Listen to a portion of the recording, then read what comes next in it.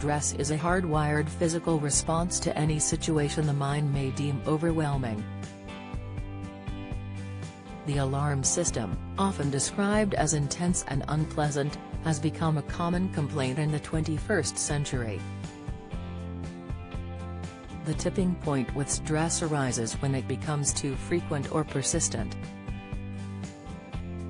According to a new study, chronic stress, which is characterized by continuously raised levels of cortisol, could put individuals at higher risk of having stroke and heart attack, by significantly raising high blood pressure. Study author Dr. Kosuke Inoue, said, previous research focused on the relationship between stress hormone levels and hypertension or cardiovascular events in patients with existing hypertension. However, studies looking at adults without hypertension were lacking. For the analysis, researchers followed 412 adults aged between 48 and 87, who had normal blood pressure at the outset of the study. The team measured their stress hormones through urine samples at several points between 2005 and 2018.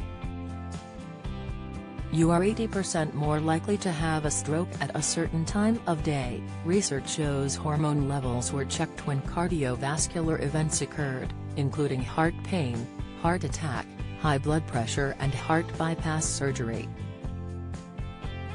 The study tested three different hormones, norepinephrine, epinephrine and dopamine, which regulate involuntary body functions such as heart rate, blood pressure and breathing as adrenal glands secrete cortisol, epinephrine and norepinephrine enter the bloodstream. Inoue explained, norepinephrine, dopamine and cortisol can increase with stress from life events, work, relationships, finances and more. Don't miss, menopause symptoms, two of the first symptoms as hormones decline, Insight James Martin Health, the chef at risk of a life-threatening condition, latest diabetes type 2 symptoms, the first sign of high blood sugar on the skin, Insight, as chronic stress causes these hormones to rise, triggering a constant fight or flight response in the body. However, when epinephrine reaches the heart, the vital organ may pump more blood, which could cause blood pressure to rise and elevate the risk of hypertension. The team looked at how the cortisol was released by the body in response to acute stress.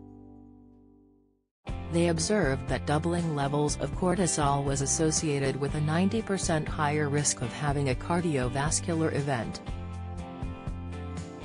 Furthermore, when all four levels of stress doubled, researchers noted the risk of developing high blood pressure rose between 21% and 31%. The researchers noted, in this context, our findings generate a hypothesis that stress hormones play a crucial role in the pathogenesis of hypertension among the younger populations. A 2018 survey conducted by the Mental Health Foundation found that 74% of UK adults reported feeling overwhelmed with stress. Many people confuse stress with anxiety, as the two have overlapping characteristics. However, both responses activate different parts of the brain and have distinguishable psychological features. The body's main stress response starts with a series of interactions between different glands and the kidney.